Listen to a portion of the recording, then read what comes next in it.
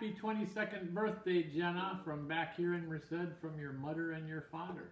A one, two, three, four, one, two, three, four.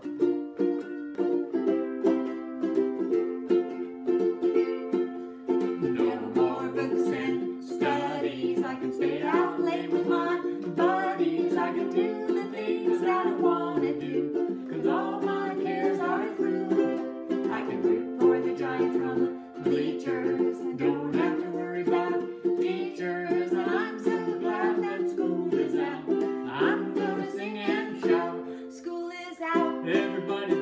have some School fun. is out. Everybody's gonna jump and run. School is out. Everybody, people don't be late. School is I just got time to take my girl out on a date. School is out at last. I'm so glad I have.